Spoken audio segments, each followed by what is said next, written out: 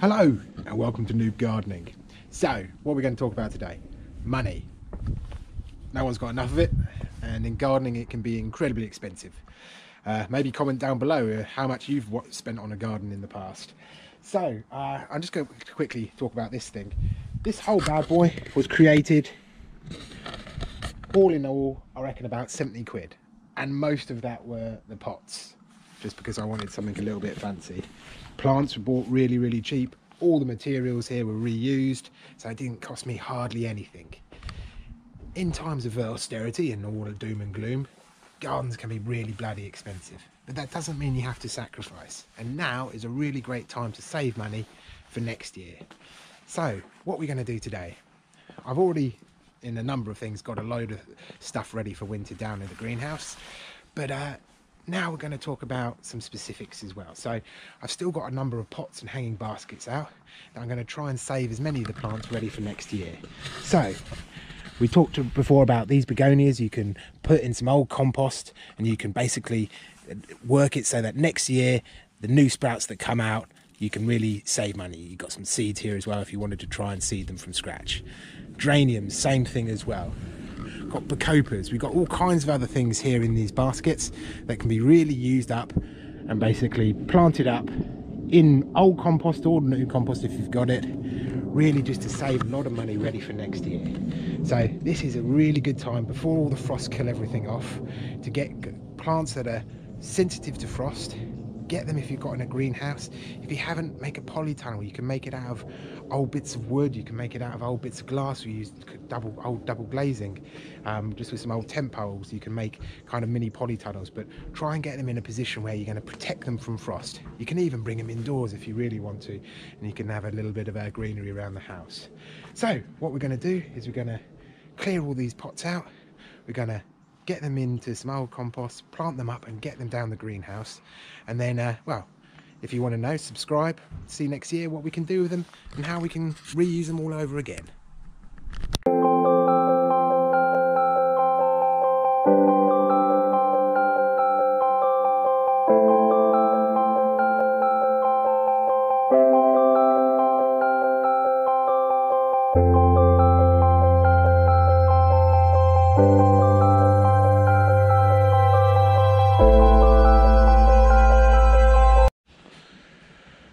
Right then, I mean that was a quick job. See, we managed to save some begonias, some geraniums.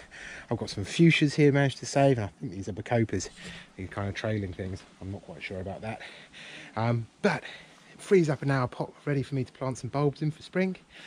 And that's going to save me quite a lot of money. The geraniums you can take cuttings from in spring. Same with the begonias, they'll kind of go into dormancy, they'll die back.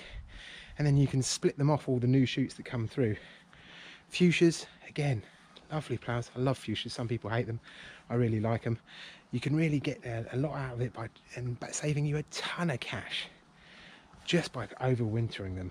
A lot of trailers as well. I'll, I'll get onto some baskets in a bit. You can actually lay them out in long pots and the, the trailers will naturally seed at growing points all the way along. And you can turn one plant, you can turn it into 10, 20. So I'm just going to do the rest of these pots. And uh, yeah hope you enjoy the video. Like and subscribe. Maybe comment down below about what plants you want to try and save this year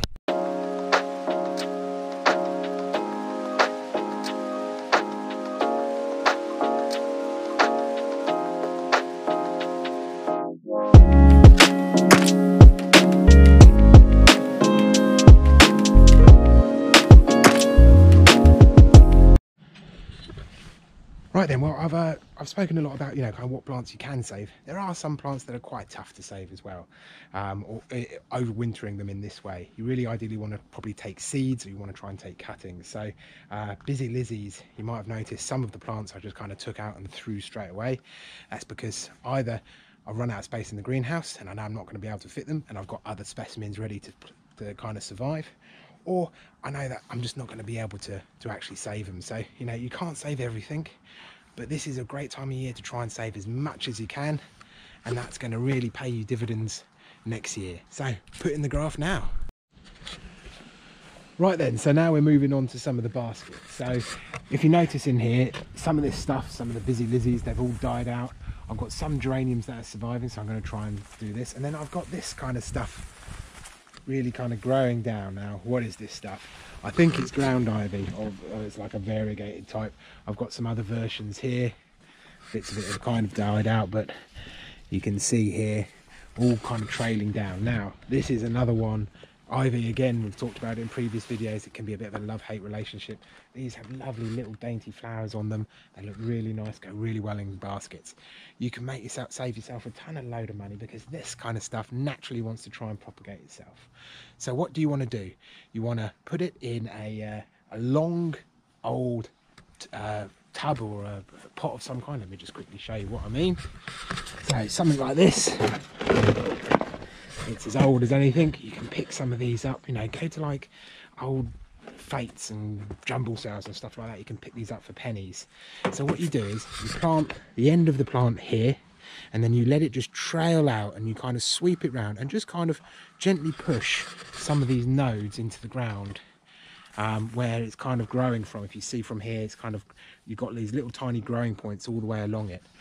You push those into the ground what will happen is, is it will root and each individual one of those nodes will sprout out a new plant. That means in spring you can come along, slice them up and you can turn again one plant into 50 plants, 100 plants. So again, that's what Ivy's trying to do here. That's why it trails so nicely. It's trying to seek out a ground source so that it can then grow on from it. So what we're going to do is lift these off. I'm going to, some of this stuff I won't be able to save. I've got like some completely dead here uh, I think that was lobelia once. But this stuff we can save, we can propagate in the spring, and we'll have loads and loads of really great plants ready for when we plant our summer baskets.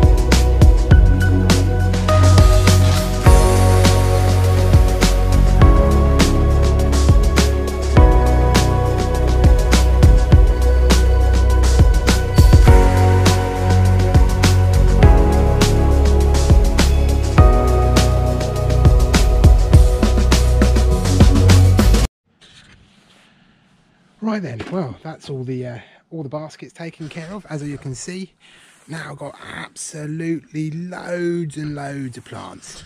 And that's going to save me hundreds of quid next year when I want to plant out my baskets and my pots. So, just to remember, you're not going to save everything. Sometimes you got to just take a look at stuff. I mean, look at this geranium here. He's tiny, he looks like he's doing all right, but he's got no root ball whatsoever chances of him surviving not so good. So save your limited amount of pots because you don't want to be wasting money on pots. Save it for the things you can save. And then uh, so yeah remember you might have a few casualties but you're working on probabilities here. So if you can save 10 then you probably might lose two or three. You're saving seven you're saving yourself each one of those. I mean, like a geranium, you know, you can be talking for a large geranium, something like six, seven, eight quid down a garden centre. So work on basis of probabilities, save the best ones, save the types of varieties you want to save, and then don't be too worried if you lose a few along the way. So I'll get all of this now down the greenhouse. I hope you've enjoyed the video. Maybe comment down below what plants you want to save. Or if you've saved any, give me a shout, take a picture. Would love to see them. Like and subscribe to the video. Thanks for watching.